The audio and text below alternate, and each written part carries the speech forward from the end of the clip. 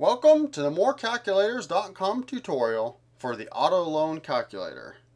At morecalculators.com we have over 20 different free calculators to help you with buying a car, buying a home, renting a home, estimating your taxes, making a budget, calculating your income, and investing in real estate. We invite you to try our calculators today at morecalculators.com. To get to the auto loan calculator, go to our home page and then scroll until you see the auto loan calculator. Once you see it, go ahead and click on it. You'll see here, this is the auto loan calculator. It has three questions. Monthly payments, interest rate per year, and finance amount. The first thing you need to do when you get to the auto loan calculator is decide if you would like the computer to tell you monthly payments or finance amount. Once you have made that decision, check the box. For our first example, we're going to have the computer calculate finance amount for us.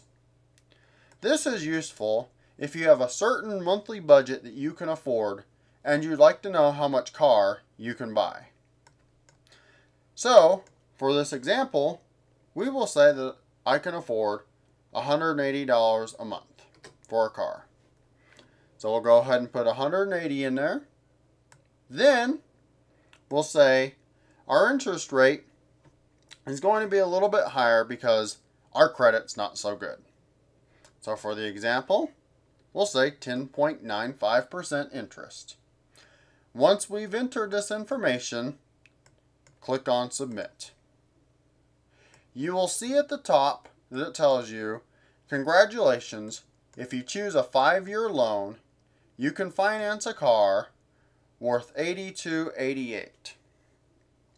So basically what this calculator is trying to do is give you a reasonable five-year loan and then tell you what you can buy with that five-year loan. We also have a chart down here that tells you some common terms for a car loan, which would be 4, 5, and 6 years, or 48, 60, and 72 months. Most of the time, car loans are referred to by the number of payments or months that they're for.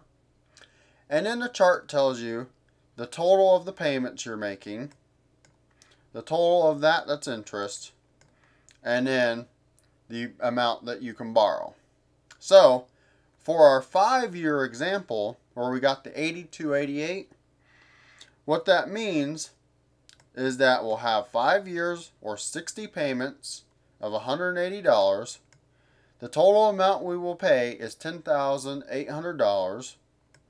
Of that, 2,512 goes to interest, and the 8288 would be the principal, or what you can use to purchase the car. Now, we're going to do a second example. So we're going to hit the reset button, which will clear this out for us, and we're back to the auto loan calculator. Now, remember, the first thing we need to do is decide whether the computer will calculate monthly payments or the finance amount. Since we've already done the finance amount, this time we're going to have the computer calculate monthly payments for us. This is good if you want to know how much a certain car will cost you per month. So, for our example, we're going to say I have better credit this time, and so we'll pay 7.5% interest.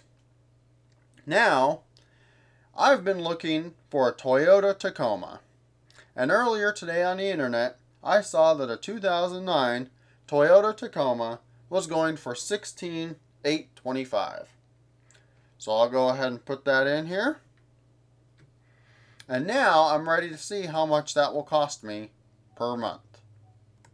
We'll click the submit button and the computer tells me, congratulations, if you choose a five-year loan, your monthly payment would be 337 Okay?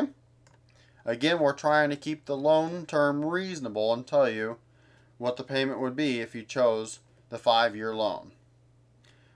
again, we have the chart that has our common car note terms, which would be 48, 60, 72 months, or 4, 5, and 6 years. It tells you the total amount you will pay. It tells you what the interest is for that as well. And then if you look down at the bottom of the chart, it tells you again the finance amount. Now the rest of this chart in both of the examples gives you 1 through 8 years, which corresponds to 12 through 96 months. And then it charts it out for you and tells you what your monthly payment is and everything for that. So that is the auto loan calculator.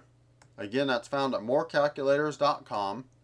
If you have any questions for us at morecalculators.com, just go to the morecalculators.com homepage and go to the morecalculators.com help center. And there you'll be able to ask a question or leave a comment for us. So thank you very much and have a great day.